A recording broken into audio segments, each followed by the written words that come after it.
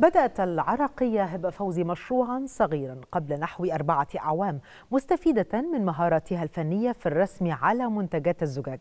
بدأت الفنانة العراقية مشروعها بين العائلة والأصدقاء ثم توسعت لاحقا من خلال بيع أعمالها الفنية على منصات التواصل الاجتماعي.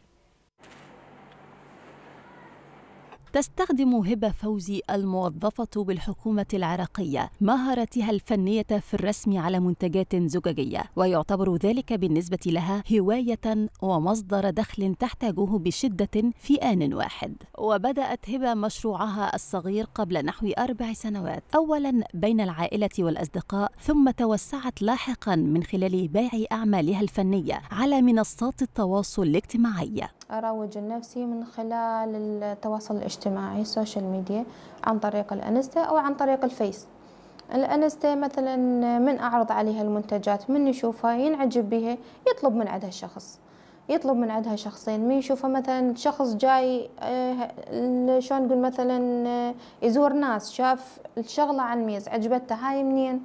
هالشكل عن طريق التواصل الاجتماعي أو عن طريق الناس نفسهم وتعشق هبة وهي أم لطفلين وشاركت في العديد من المعارض أن تعكس التراث الثقافي لبلادها في أعمالها الفنية بما في ذلك التصاميم المستوحاة من الشرفات التقليدية مع الأعمال الخشبية المزخرفة في المنازل القديمة.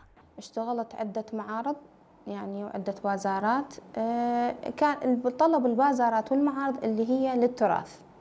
أريد مثلا بغداديات على شناشيل على شغلات يعني تراثية. يعني مثلا هسه هاي أجيبها ألونها لون كامل حسب اللون الهسه هذا لون فيروزي وأرسم عليها البغداديات مثلا. بغدادية وطعمتها بالشناشيل. وتروج هبة فوزي لأعمالها التي تبيعها لعملائها من خلال مواقع التواصل الاجتماعي حيث ترى أن الرسم على الزجاج بالنسبة لها تجارة وفن وأكثر شيء تحبه. الرسم على الزجاج بالنسبة لي تجارة وفن وأكثر شيء شغلة أحب يعني أنا وقت ما أضوج أقعد لو أرسم لو أرسم على الزجاج.